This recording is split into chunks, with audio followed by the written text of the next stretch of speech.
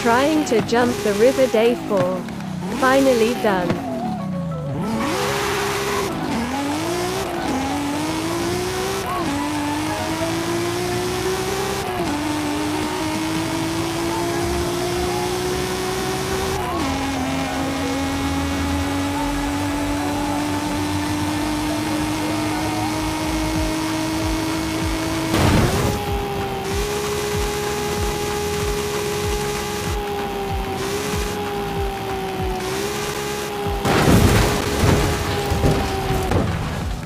We did it.